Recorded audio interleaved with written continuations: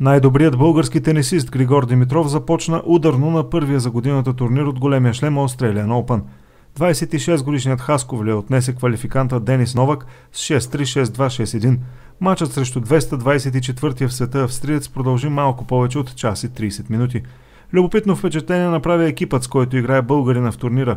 Той е Розов. Във втория кръг Гришо среща още един квалификант – Макензи Макдоналд от САЩ, който победи с 6-4, 6-3, 4-6, 6-1 шведа Елиас Имер.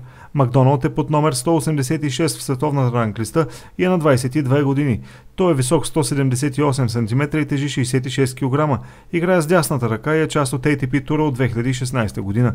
Григор Димитров и Макдоналд не са играли помежду си до сега. Срещата им ще се изиграе в среда.